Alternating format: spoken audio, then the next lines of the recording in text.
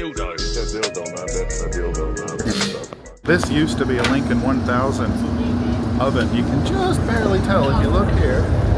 It says 1000 right there. It's been refurbished. Look at the reflection. Isn't she fancy? They put some, I don't know where these belong. That kind of looks like a XLT oven, but I don't know what to tell you about that. And this is obviously not factory. That shiny plate. Here's what's going on with this thing.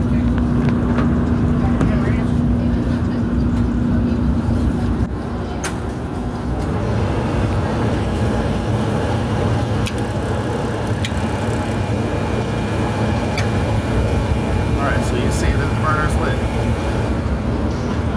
Now I turn it off. See that the pilot is still lit? Plug the oven. The pilot is still lit. That, that can't be like that. Because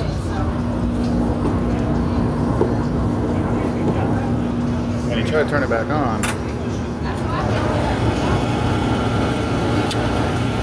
that happens. Flame out of sequence because the pilot's already lit.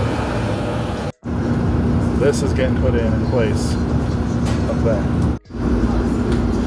This one has a convoluted little pilot shut-off valve on the side of it. And don't ask, I don't freaking know. But anyway, the only real difference is that this valve has an off switch.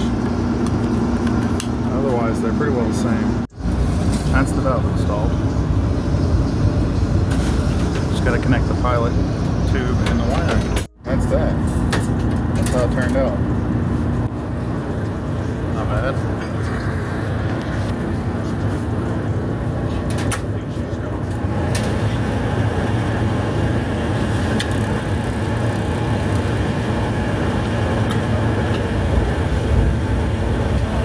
And when I turn off the oven, it turns off. Problem solved.